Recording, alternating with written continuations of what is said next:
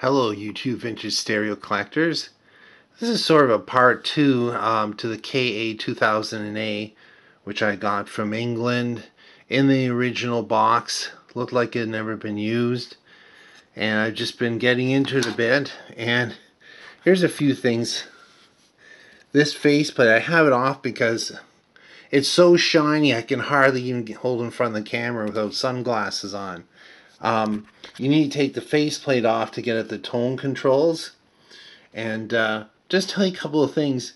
Okay, I believe this was a new unit and it failed very shortly um, after it was new, probably in the warranty period, and it was sent back. That's what I think's happened with this one.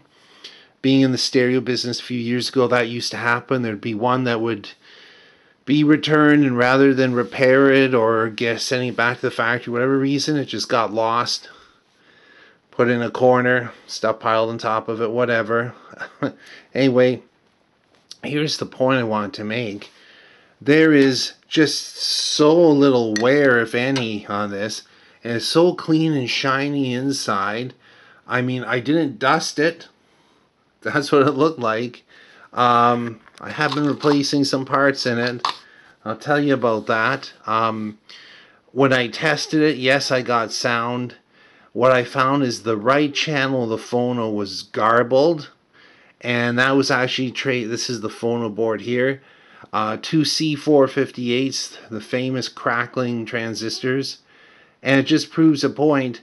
Even if the amp wasn't used for 40 or 50 years, those transistors failed very early in the lifespan of the amplifier. They're the worst transistor ever made, the C458. Let's show you some of the stuff I've changed in here. So I changed the rectifier capacitors.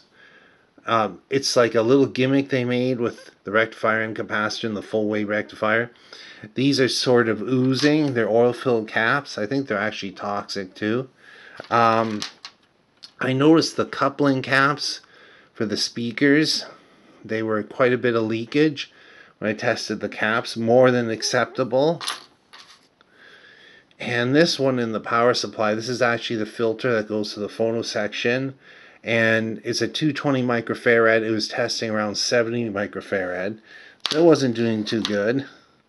And there are a few little leakers. Um, some of these oil-filled caps this is everything I replaced so far in it.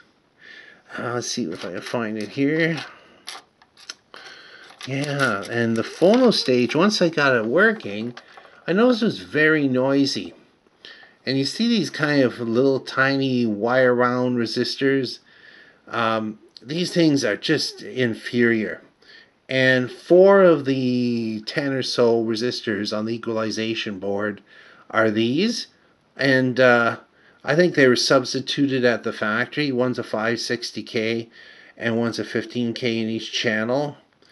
And uh, it's in the collector circuit of the first transistor. And so you kind of get a background like that, even with new transistors. So I replaced those. So I'm basically recapping it. I randomly tested some and they were way off. So I've recapped the tone control board, the phono board, the power supply. I'm just going to turn it around so you can see it.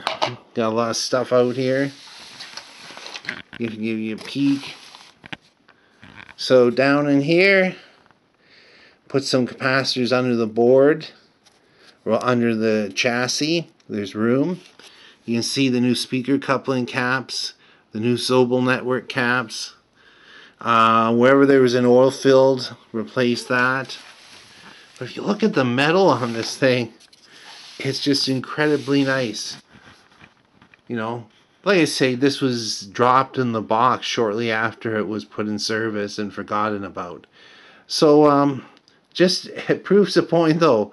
Um, this could have been in somebody's stereo system and used for years, and it got crackly and noisy and needed recapping or just been sitting in the box and it needs recapping.